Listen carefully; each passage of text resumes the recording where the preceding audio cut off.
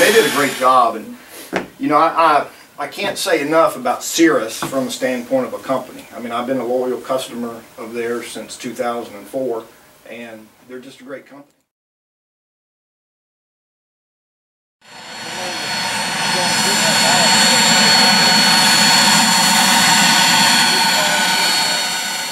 That plane that's sitting out there on the ramp today is going to change aviation, without a doubt. People don't recognize it right now because it's such a small delivery process, but it is the only single engine jet made for general aviation, or has ever been made for general aviation. And for those of y'all who followed the process, there was a time when the Eclipse jet was single engine, the Cirrus jet was single engine, Piper had a single engine one, I think Diamond had a Diamond single engine. All four of those were prototypes that they were developing and kind of competing for to get to the market first. And at the end of the day, there was only one survivor, and that was Cirrus. Came out with a wonderful design. But it took them, I mean, I put a deposit down on October 3rd, 2006. So it was 5,003 days from the time I And I got to tell you, when I walked in that delivery hangar, I, I actually cried. You know, because it had been that long to wait. So, anyway, Cirrus is a great company. I can't speak enough about Cirrus. Um, but then on August 22nd, I got a phone call from them and said, "Hey, are you willing to take delivery of your jet in November?" I said, "Heck yeah, I am." But uh, that started a process of training. And the training, I mean, one thing that I think they uh, oversold is it probably is the easiest transition there is from a single engine aircraft to a jet. But that doesn't mean it's easy. It just means that, you know, It's easier than that. yeah, Mount Kilimanjaro is a little bit lower than Mount Everest, you know, so, uh, but, but the training process for me was difficult because of, I think a lot of it's my age. Yeah, I mean- thing. Yeah. Thank you, Don. Uh, But I I actually had, I had four weeks of training over two and a half months. I made uh, four trips to Duluth. It included uh, a skill assessment where I took the SR-22 up there and, and flew with one of their test pilots, and he did a skill assessment where we went through different maneuvers so he could evaluate my level of, of, of skill. then I went into avionics training, which was really tough because it's even though it's Garmin, it's a touch screen and it has a different logic behind it than what the 1000 series had.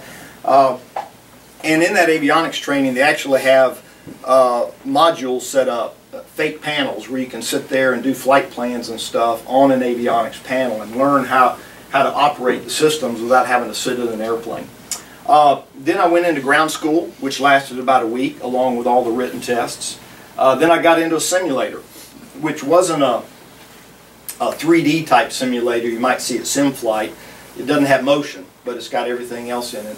And that's the first time when they prove to you that the plane is moving faster than you can think about. Because the first thing they do is they bust you on speed. Then they bust you on speed again, and then they bust you on speed again. Because the whole plane is about speed management.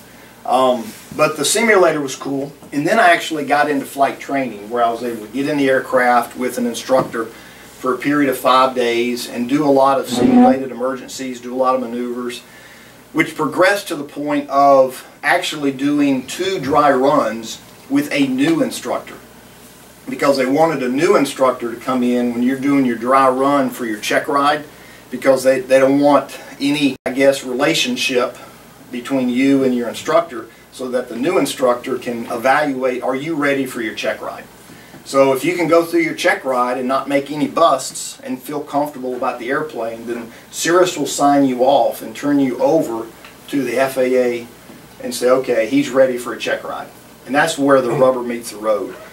Because you have to uh, pass an oral test first, which was about a two-hour test, which included having to describe the systems to the examiner on a whiteboard, where you actually have to draw out several of the systems of the aircraft, and then I'll obviously answer a lot of questions about limitations, emergency procedures, things of that nature, because the examiner wants to make sure that you understand the airplane. Uh, then they give you a, uh, an example of your flight. They'll say, okay, we're going to go out, we're going to take off on this runway, we're going to do four approaches. The first two, we'll, we'll do an autopilot approach, we'll do an approach by hand. Uh, we'll do another autopilot approach. We'll do another approach by hand. Here are the approaches we're going to do.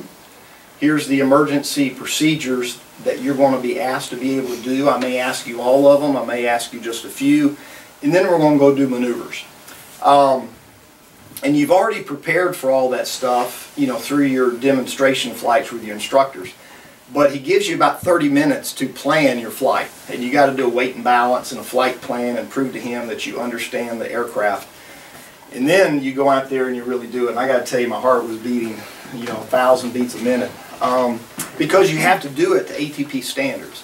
What that means is you're given uh, one bust, and if you bust, you're gone. And the bust is plus or minus 100 feet. So if he assigns you an altitude and it's plus or minus 5 knots, and if he assigns you a speed, you've got to hit the altitude and maintain that altitude within 100 feet, and you have to uh, uh, maintain the speed plus or minus 5 knots.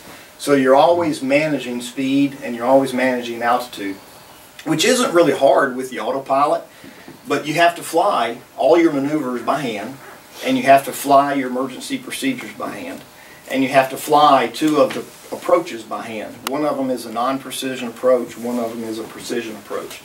So, and, and the hardest one comes last, and it's a circle to land VOR non-precision approach. And you have to stay within 100 feet plus or minus. And you have to uh, do it by hand. And it's about a the one they chose was about a 10 minute approach because the entry you out in a pattern that you've got to do a teardrop entry you got to fly by hand then you got to do the approach you got to get down to minimums and then you got to do a circle to land and so for about two and a half to three minutes you got to maintain that altitude at a low at a low speed at a low altitude in order to uh, you know, make make the grade, I guess is what you'd say. And uh, so when we landed, the uh, the examiner said, "Hey, do you mind if I taxi in?" I said, "Only if I passed." He said, "Yeah." so anyway, check ride was over, and I got to tell you, it took about three or four weeks for me to decompress, you know, to where I could just you know relax again. But um, you know, I, I, I do think a younger person would do better at it. Um, it did take about between 50 and 60 hours before I became comfortable really with flying the airplane. Part of the training required me to to fly for a whole week, about 25 hours with a mentor, where you're not worried about a check ride because preparing for a check ride is different than preparing for flying the aircraft. Because a check ride, you have to do certain things, but flying the aircraft across the United States, it's a different set of parameters than just flying around the same airport. So the mentoring flight, uh, we went all the way out to Utah, Washington, California, and back over a period of eight days. And it was a great training experience. And, and really the three things that were the hardest was really the avionics first, uh, because there's a lot to it. The second thing is, is the systems, because in the SR-22 you didn't have retracts, you didn't have the anti-de-ice, you didn't have the pressurization, you didn't have the environmental control systems and you didn't have as many speed limitations as you do in the jet. So, uh, you know, the, the systems of the airplane was, was very difficult. But the third item was just the speed by which everything's happening. I mean, it's just boom, boom, boom, boom, boom. And the air traffic controllers consider you a jet, and they expect certain things from you as far as speeds go and clearances. So it's just a higher level of activity at a higher rate of speed. So those are the difficulties in trying to you know, become a jet pilot. But it's something I've been waiting for for a long time. So I'm glad to be there and I'm glad it's over. Uh, the performance of the aircraft, a couple of quick things about it. Uh, it loves to fly at 27 and 28,000 feet. And that's, that's where you fly, period. Uh, just about regardless of anything other than temperature and wind. And it has to be really strong wind and really low temperature not to go there. Uh, but at that altitude, I've yet to see a true airspeed less than 300 knots. Usually it's about 305 to 310 knots true airspeed. So if you got a tailwind, you know, you're kicking it. Plane, although it's fast, it, it slows down really fast if you need to slow it down. Indicated airspeed maximum is 250 knots indicated. And when I'm at flight 280 doing 305 true airspeed, the indicated airspeed is only about 160 to 165, okay? So you think about you're limited to 250 knots indicated airspeed.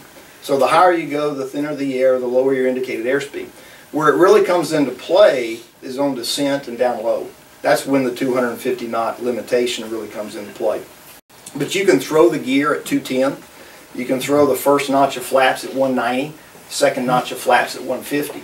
So you can slow this plane down really fast. No speed brakes? No speed brakes. And you can get it down really fast as well.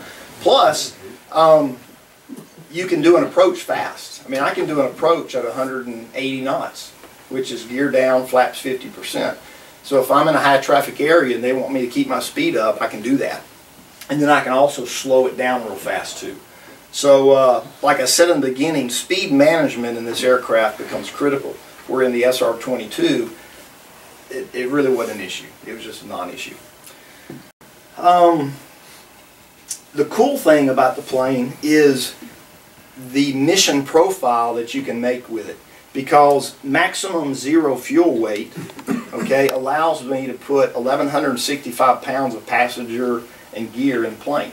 So think about that. Whereas an SR-22, that was about 400 to 500 pounds max. Okay, you're doubling the weight capacity of the airplane. And with 1,165 pounds of passengers and gear, I can put on 172 gallons of fuel, which gives me a two-hour flight and a small reserve. Small reserve is about a 30-minute reserve for, for that. So you need a little bit more to have IFR. But you could go an hour and 45 minutes of flight with a full payload of people, you know, and still have 45 minutes of reserves for IFR. So if it's VFR, you can go a little bit further. So you- you've got a lot of mission profiles that you can make with this airplane, but it also comes with um, a maximum landing weight. So from maximum gross weight at takeoff to maximum landing weight is a difference of about 450 pounds. So you got to burn off about an hour's worth of fuel if you take off at maximum gross weight. So you always got to manage the weight of the aircraft too, which was something different, you know, than with the SR-22. So uh, that's a great asset to have now because you can do a lot of different. In addition to that, they have some great apps. I mean, they, they gave us a flight planning app that does so much flight planning for you that it, it's really amazing. It makes flight planning easy. It takes a lot of guesswork out of it. It gives you the ability to make, you know, a good mission profile without spending a whole lot of time analyzing it. Um, I guess that's about it as far as what I wanted to speak.